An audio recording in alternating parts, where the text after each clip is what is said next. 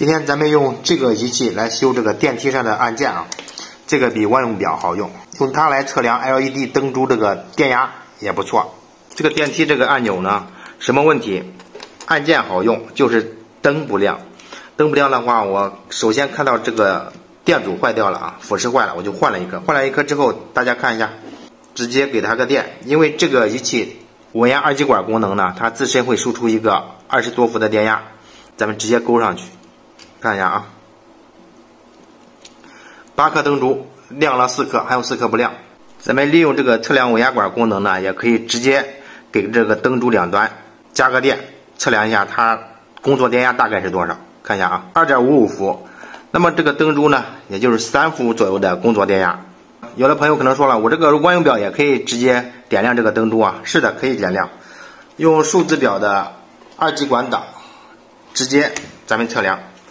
三伏的灯珠它直接就可以点亮，看好，看点亮了吧？但是大于三伏的灯珠，比如说这款，这是六伏的灯珠，这个万用表就点不亮了。除非你用机械表，并且是十 K 档，用的是九伏电压那种机械表，用十 K 档可以点亮。但是呢，用这个小玩意儿就直接可以点亮啊！咱们看一下，并且呢，可以知道这个灯珠大概工作电压是多少。咱们看一下啊，看一下灯珠亮了。五点二伏，五点二伏的话，大约就是六伏的灯珠。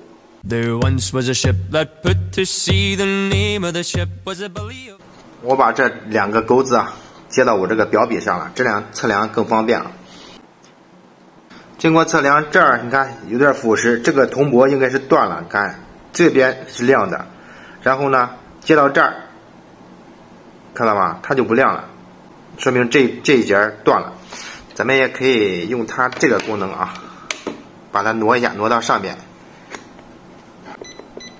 这有测通断功能啊，先短接一下看，然后看一下这个铜箔，看不通，然后从这儿量一下啊，这从这儿扎进去，看这是通着了，然后就这一节这节不通，这节明显有腐蚀啊，看到了吧？另外这儿也有腐蚀，这个洞看一下啊，这个洞应该和这个是通着的，看这不通，咱们把这个分根线，把这儿也分根线。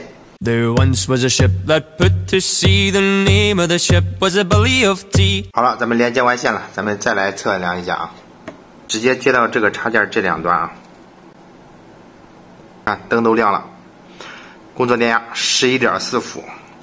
然后它自身应该是十二伏的供电啊，有的朋友可能想着你这个二十多伏电压直接给它供电，甚至有时候单独给这个单颗灯珠供电，你像这个，不怕把灯珠给烧了吗？因为它它这个电压是有了二十多伏，但是它这个电流很小，所以说它烧不坏灯珠啊。二十伏之内这个灯珠都可以直接用这样测量好坏，很方便。这个测量灯珠具体工作电压，这只是能测个大概啊。但是呢，咱们可以测灯珠好坏的话，直接看能否点亮就可以了。其实它就是利用了里边有一个电源，这样的话咱们试机也不用稳压电源了，直接这玩意儿就直接可以试机了，非常的方便。这个东西功能挺多的啊，以前也详细介绍过，想了解的可以翻以前的视频。好了，这期视频就到这里，感谢大家收看，下期见，拜拜。